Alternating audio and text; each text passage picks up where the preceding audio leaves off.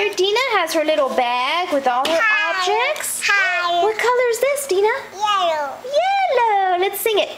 Yellow, yellow, yeah, yeah, yeah. That's our little song that helps us sing the alphabet sounds. We say the object together, and then we say the sound. For example, necklace, necklace, n, n, n. So this is how we did our little game, singing alphabet. What is that one? Tire. It's a violin, violin.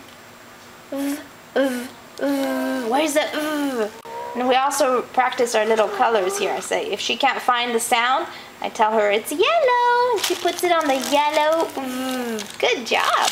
Okay, find another object. Sometimes we close our eyes and we feel inside. You want to do that? Yeah, close your eyes. Get something out so it's a surprise. Oh, what is it? Hippo. Hippo! Let's sing it. Hippo, hippo. Look. Ha, ha, ha. What does hippo have?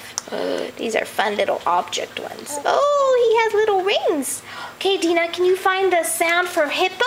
Ha. Ha! It's a blue. Can you find the blue? Where's the blue? Look, Dina. Put it on the blue. Over here. So that's something you can do with your little games and objects. And alphabet. We can use any alphabet cards we have.